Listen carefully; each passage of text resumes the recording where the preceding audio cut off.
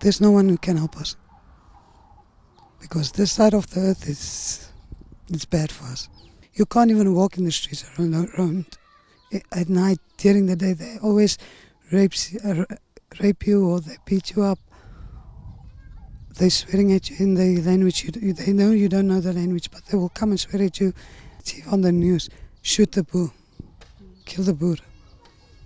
What we are like, just living also. We are like human beings, just like them. Just the color and the language is different. But why are they against us? Even black kids were beating my kids up, my five-year-old.